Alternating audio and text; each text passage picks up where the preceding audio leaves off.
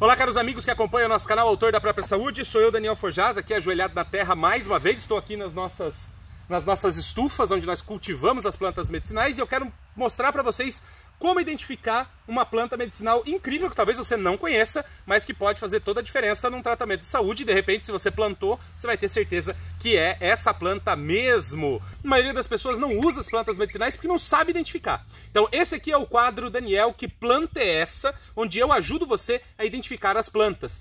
Mostro todas as características da planta para que você possa fazer um uso seguro, para que você possa fazer um uso eficiente, para que você não erre na hora de escolher uma planta medicinal. Quero te mostrar essa planta aqui, que é uma planta incrível. Hoje nós vamos falar sobre o cardo mariano. E o cardo mariano, ele não é uma planta brasileira, ele é uma planta que vem do hemisfério norte, Estados Unidos tem cardo mariano, na Europa tem um pouco de cardo mariano, ele não é do Brasil. Você não vai achar num terreno baldio, num campo, você não vai achar cardo mariano. Mas essa planta aqui, ela é, se prolifera muito facilmente através de sementes e você consegue ter um resultado muito bom com ela, certo? Primeiro, o nome científico do cardo mariano é Silibum marianum. E ele, é, você vai encontrar mais informação técnica sobre ele a partir desse nome. No nosso canal nós temos um vídeo completo sobre o cardo mariano que você pode assistir para entender as propriedades medicinais e como utilizar o cardo mariano, beleza? E é uma planta legal porque você consegue encontrar ele também em farmácias de manipulação. Uh, muito bem, você plantou cardo mariano e nasceu. Será que é cardo mariano? Bom, primeira questão. Esse aqui é o aspecto da, do pé do cardo mariano. Muitas folhas saindo e ele tem esse tom tigrado aqui de um verde muito clarinho, quase branco, e um verde folha bem bonito aqui no meio. Então essa aqui é a cor do cardo mariano, tem que ser dessa cor, senão não é o cardo mariano.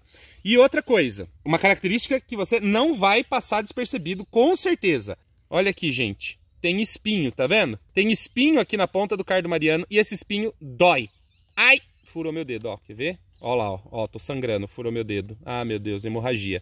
Bom, muito bem. Então você não vai passar despercebido.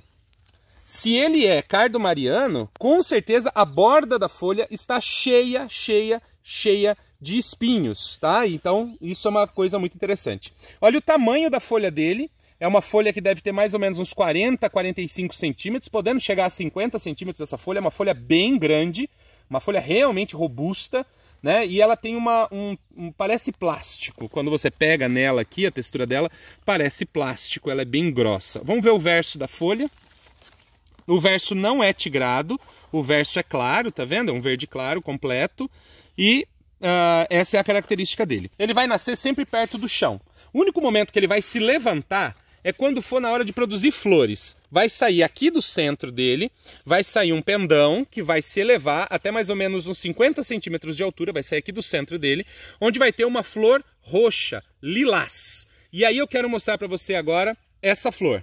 Aqui do lado Aqui do lado você consegue ver a flor do cardo mariano. Ela forma como se fosse um, um grande pincel, um grande pompom roxo, intenso. E é grande. É, seria mais ou menos do tamanho da minha mão fechada. Ele é bem grande. Quando ele seca, ele forma sementes dele na parte de baixo. Você pode propagar o cardo mariano novamente sem muita dificuldade. É uma planta que é muito adaptável e muito interessante. Inclusive o nome deles é cardo mariano, porque a cor da flor dele é a mesma cor do, do manto de Maria, né? Para quem é católico, é a, a, mesma cor do manto de Maria, então eles chamam de cardo mariano. Nos Estados Unidos, ele é chamado de cardo de leite.